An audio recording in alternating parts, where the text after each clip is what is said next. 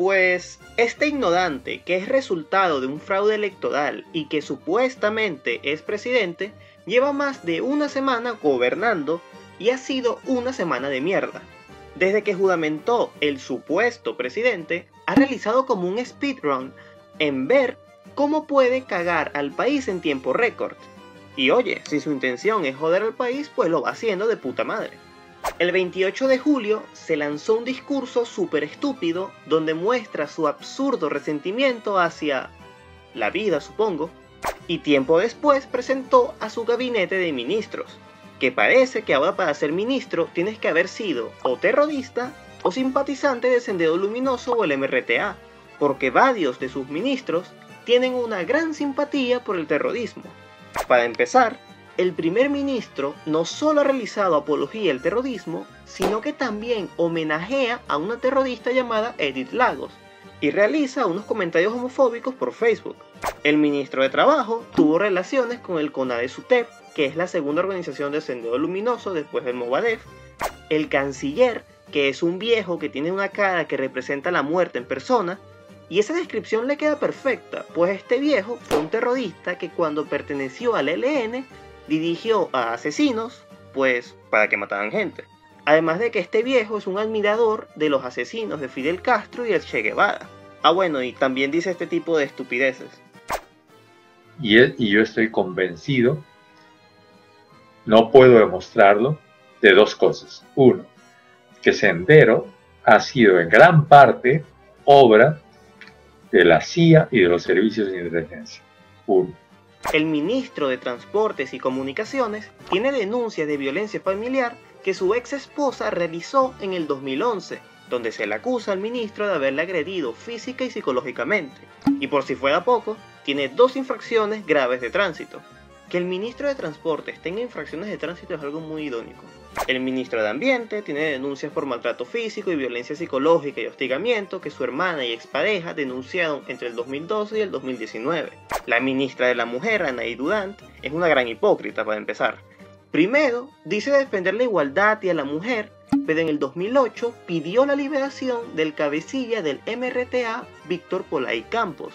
Y por si fuera poco, ella fue pareja sentimental del terrorista chileno Alejandro Astorga Valdés. Y después dice, no, nada que ver, yo no soy simpatizante del MRTA, no me terruquen. Y además, esta tipa estuvo defendiendo a los que iban con machete por la calle. En este tweet, ella dice, el machete es una herramienta de trabajo muy utilizada en la Sierra Norte. Mi abuelo se trajo su machete de Chota a Lima, donde lo usaba para partir las sandías. Ya cansa tanta histeria de la gentita limeña. Pero hija de puta, ¿cómo que gentita limeña? Si tú naciste en Lima. Dios mío, y solo les mencioné 6 ministros. Faltan 12 ministros más por los cuales hablar.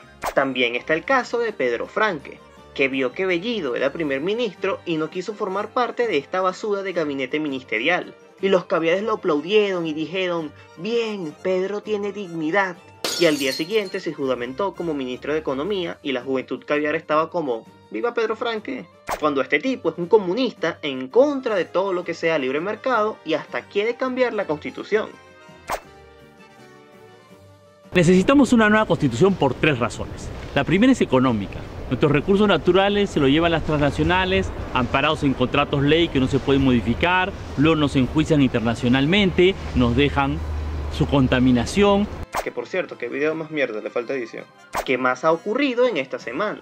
Pues el dólar superó los 4 soles y la moneda peruana se ha devaluado rápidamente.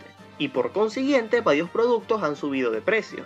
Y los comedores populares se están viendo afectados directamente. Y están evaluando subir el precio del menú, disminuir las porciones o disminuir los comensales. E incluyo esta noticia porque tan solo en Lima los comedores populares alimentan a más de 250.000 personas.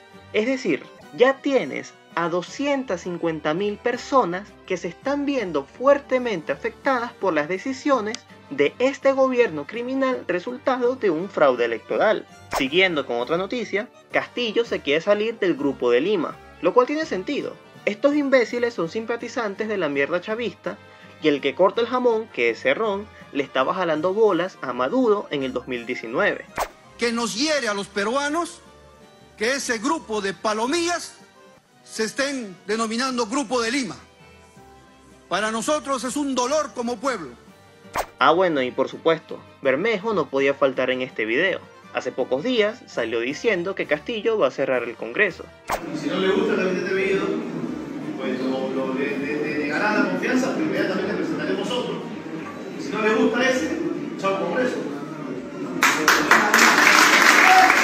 Y al verse que Castillo está intentando implantar una dictadura comunista, todo el país está exigiendo la vacancia de Castillo, lo cual es la única solución para que el país no se joda. No anden de estúpidos pensando que Castillo es buena persona, porque no lo es. Y hasta aquí el video de hoy. Se vienen más videos largos, así que estén atentos al canal. Si te gusta este tipo de contenido, deja tu buen like y suscríbete al canal. Y como siempre, hay mucho más que contar. Nos vemos en el siguiente video.